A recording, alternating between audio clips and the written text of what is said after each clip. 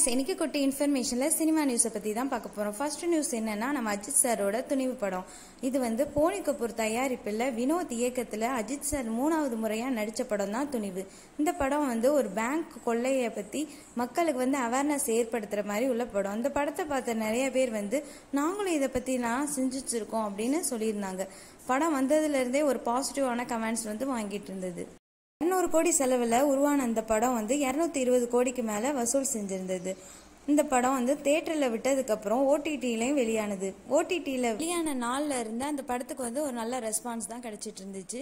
இப்போ வரைக்கும் அஜித் சார் நடித்த துணிவு படம் தான் ஓடிடியில் டூ தௌசண்ட் டுவெண்ட்டி த்ரீயில் நல்ல வசூல் செஞ்ச படமாக இருக்குது இந்த நியூஸ் அறிஞ்ச அஜித் ரசிகர்கள்லாம் டேகை கிரியேட் பண்ணி ட்ரெண்ட் பண்ணிட்டு வந்துட்டுருக்காங்க.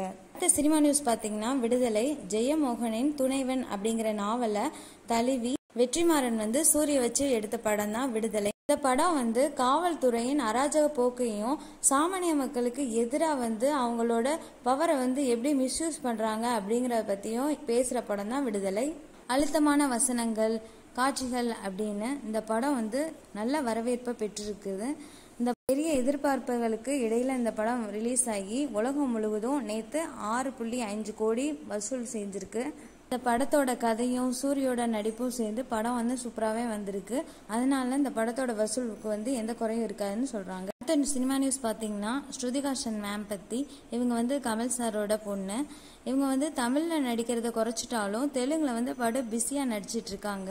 இவங்க அடுத்து பிரபாஸ் கூட சலார் அப்படிங்கிற படத்தில் நடிக்க போகிறாங்க ஸ்ருதிகாஷன் மேம் வந்து எப்பயுமே வந்து நிறைய விஷயங்களை வந்து ஓப்பனாக பேசக்கூடியவங்க.